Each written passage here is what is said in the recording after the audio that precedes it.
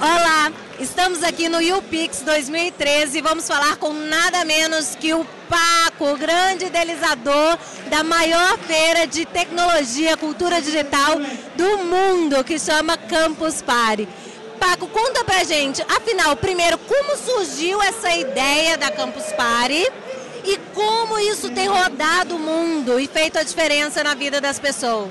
Bom, a Campus Party surgiu há muitos anos atrás, 17 anos já, num grupo de amigos que uma noite olhamos na televisão na Espanha um documentário sobre as, as origens da internet e se falava de eventos tipo Campus Party, muito mais pequenos, que aconteciam no norte da Europa. Eh, Pessoas que, como a paixão tecnológica, juntavam-se com seus computadores a criarem coisas juntas. Então, isso nos serviu de inspiração. Criamos o conceito para ser muito mais focado na pedagogia, na formação, por isso a, o evento chama-se Campus, pela parte universitária. E arrancou a primeira Campus Party no ano 97, imagina quantos anos passaram já, não? E depois de 10 anos, viemos para o Brasil, no ano 2008 foi a primeira Camp. Como mudam as vidas das pessoas? Mira, a vida das pessoas no mundo atual é muito rápida, não? as pessoas não têm tempo, vão a correria de um lado para o outro. E esse é o principal problema que tem a humanidade, as pessoas não têm tempo de estar com os outros.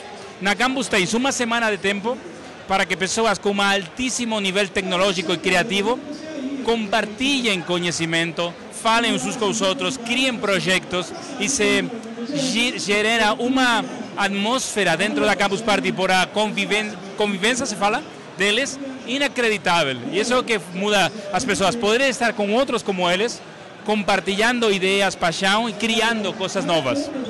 E, e Paco, olha, aqui há alguns anos, né, passou dois anos, se eu não me engano, teve a, a Educa Pare, que foi linda e que fez uma diferença na vida de muitos professores, que eu tive a chance e a oportunidade de participar e cobrir o evento.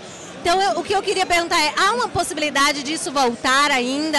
Agora vai ter a Campus Recife recente.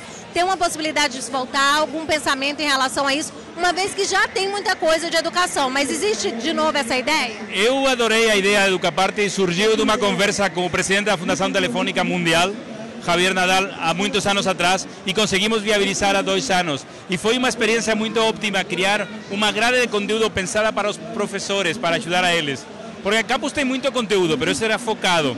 Eu acho que seria uma ideia muito boa voltar a fazer e vamos a tentar.